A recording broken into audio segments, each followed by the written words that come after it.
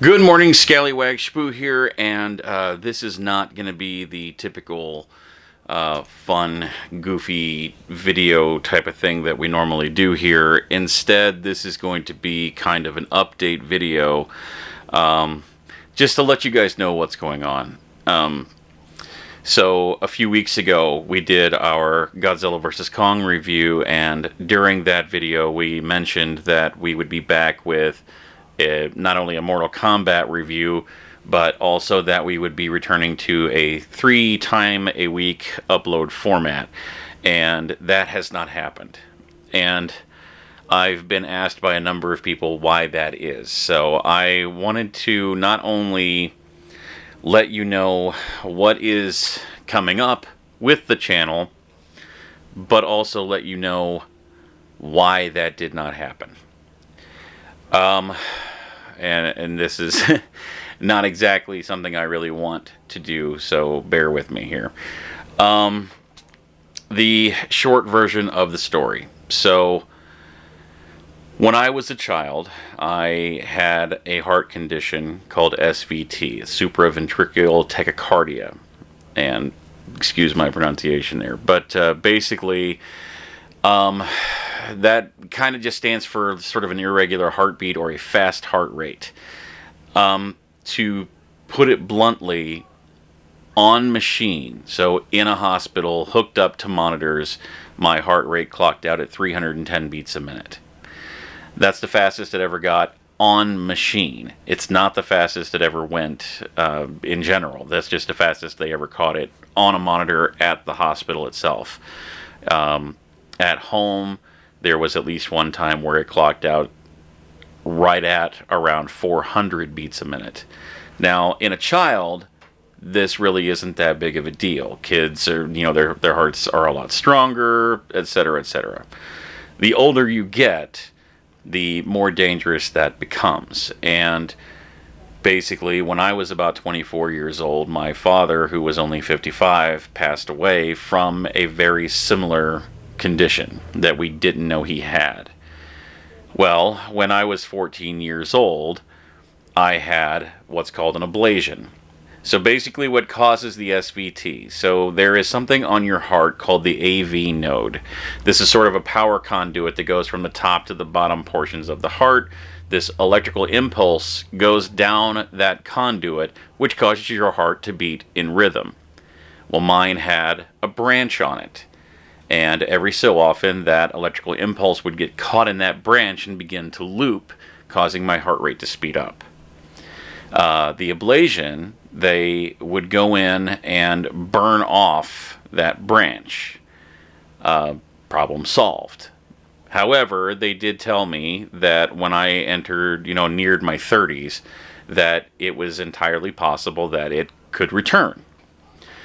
Fast forward to my 30s, and um, it, it, it would flutter every so often. I would skip a beat here and there, and whenever I would have an event where my heart rate would take off racing, I could always feel it right before it happened. I could feel it coming on. It sort of felt like my chest was vibrating, if you will. That's the best way I can think to describe it. Um, when this would happen, or when I would have a full blown event, uh, I would have to bear down and you know push all the blood into my head, turn my face red. That would stop the event. Um, so occasional flutters here and there they would happen. If I felt the vibration coming on, I would go ahead and I would bear down. It'd stop after a few seconds. Well, um, several couple weeks ago, I uh, I went to bed and I had been laying in bed for about 15 minutes when I noticed my left arm was completely numb, like the whole thing was just tingling. And I tend to sleep on my side with my arm up under my pillow, so I thought maybe I was just laying on it weird or something. So I moved my arm. Uh, that didn't help. And then I felt that all too familiar vibration coming on. So I bared down, turned my face red, and not only did it not stop, it increased. uh, my heart just started pounding, and I mean just pounding out of my chest and getting faster and faster with every beat. I bear down again, still nothing. Continuously harder, faster. This went on for about 10 minutes until I finally sprang up in bed and long story short, we called an ambulance. Uh, ambulance took me to the hospital. I spent the next day and a half in the hospital uh, with them running tests. And basically, the SVT has returned, which, okay, well, we knew it had sort of returned because, as mentioned, I would have the occasional flutter, you know, for several years now, but never anything this bad. Um, most of the tests that they ran came back looking okay. They did do an echocardiogram uh, sort of right at the end, and it showed some irregularities in it. Um, that was enough to. Sorry, I've got a gnat flying around apparently.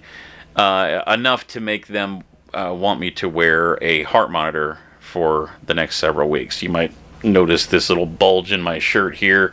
That is the heart monitor. Um, so I'm supposed to wear this heart monitor for 21 days. Five days later, and I receive a phone call in the afternoon from the heart center asking if I'm okay because they picked up an event. I didn't even notice it. I noticed that I was skipping a lot of beats that, that day, a lot of flutters and stuff.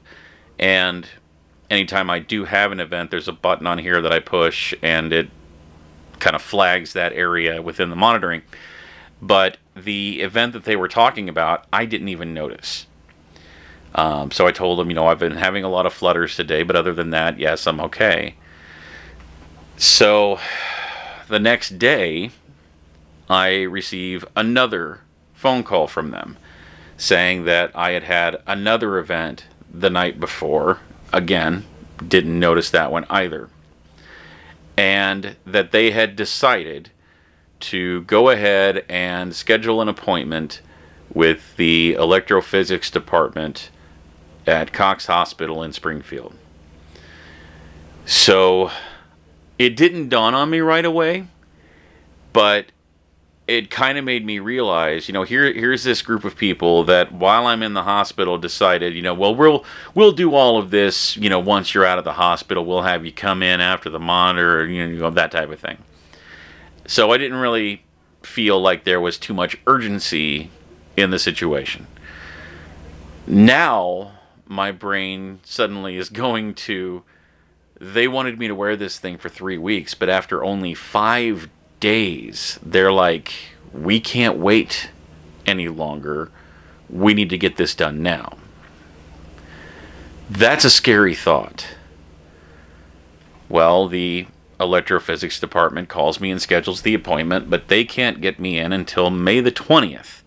And this is all happening on like April 29th or April 28th, somewhere in there. So three weeks out.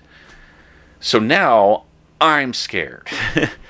and um, you know they've given me medications and things that I that I'm taking, but in the meantime, the events are getting worse. Um, over the last two or three nights, especially, they've gotten particularly bad. Uh, not last night. This is Sunday. Uh, what is today? The third, I think. So Sunday, May third, that I'm shooting this. Um, Friday night. So this would have been Friday the first. Um, I didn't get to bed until about seven o'clock Saturday morning because I was having so much trouble the night before, all night. It was just it. It, it, it felt like an event was about to happen again. Um, bear down. I got it to kind of settle down, but maybe five, ten minutes later, it would do it again. Bear down, it would stop. Five, ten minutes later, it would do it again. And every time I'm getting this horrible pain in my chest that's getting worse and worse and worse and worse with each event. Uh, about five o'clock, I finally try to go to bed, but every time I would start to doze off, it would do it again, and I'd wake back up again. My arms, both arms, this time were going completely numb. Um, I looked it up, you know, what's this whole tingling arm thing all about? And that is a symptom that I never showed as a child that apparently is part of SVT. So, so at about, I don't know, 11 o'clock last night, so Saturday night at 11 o'clock at night on a Saturday, uh, knowing that, you know, the heart center is only open Monday through Friday from like 8 to 4.30, I decide I'm going to go ahead and call them and just hope that there is some kind of, you know, on call doctor who can call me back. Fortunately, and this was just blind luck, uh, the on call doctor this weekend was actually the cardiologist that I saw that got this whole ball rolling while I was in the hospital. So that worked out very nicely. And I, I told him what's been going on and how it's getting worse. And they, you know, being able to see the monitor on their end, had also seen this as well. I I asked him point blank, you know, you only waited five days. I only made it five days out of a 21 day study before you were like, nope, can't wait, get get an appointment set.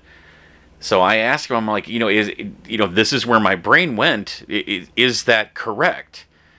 He did assure me that no, that's not the case. Uh, at least this is what he's telling me. You know, whether or not this is true, who knows. But um, basically, what he said was, you know, obviously you can't get in there for three weeks. So there's no sense in doing the monitor for three weeks, then waiting for us to get the report back, scheduling an appointment with you, then having you come in, then making the referral. It would be two two months plus before I would be able to get in if they had done it that way.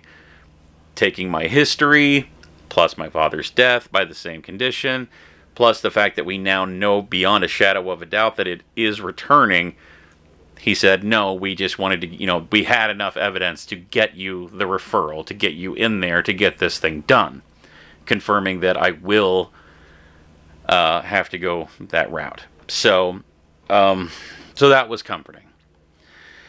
So my next question to him obviously was, well, you know, it's still three weeks before I can get in to see these guys. What do I do in the meantime? You know, it's getting worse. It's happening nightly at this point. And again, this is a thing that killed my dad. Um, excuse me. Uh, so he's um, I, I, I hopefully will hear something back tomorrow, but they he's going to try to get me in there sooner. Um, so what does this this all mean? Uh, I it means that I will be having heart surgery. uh, and the surgery doesn't scare me. It, it's not. It's not. Uh, it's not an open heart situation. This is, it's an ablation. So basically, what this is, um, I mentioned that that my AV node has a branch on it. So this is where they take these catheters. So it's like these wires uh, with like a little cattle prod on the end. They put one in this arm, two in my left leg, and one in my right leg. They kind of snake it up through the veins and arteries and things they go up to that branch and they burn the branch off. Simple. Uh, when I had this surgery when I was 14, I spent one night in the hospital and I was released the following morning. Uh, I went hunting with my dad. If that gives you an idea of you know how you know not a big deal this surgery is. Now it's actually done on a completely outpatient pace, uh, outpatient basis. Uh, excuse me. But that's not the part that scares me. The part that scares me is the time between now and then. Um, I, I've never been more scared in my life. Just putting it bluntly. Um, I'm afraid to go to sleep at night. Afraid, you know, of am I even going to wake up in the morning? Um,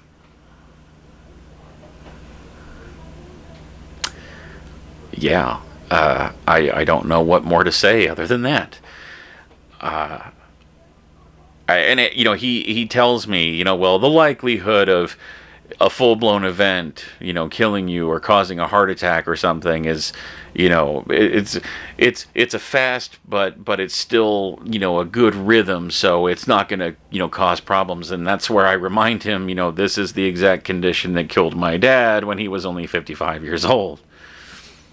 Um, I am 43 currently, and uh, so I know he's saying these things, you know, kind of in a way of, you know, don't worry about it type of thing, but uh, it's a real possibility.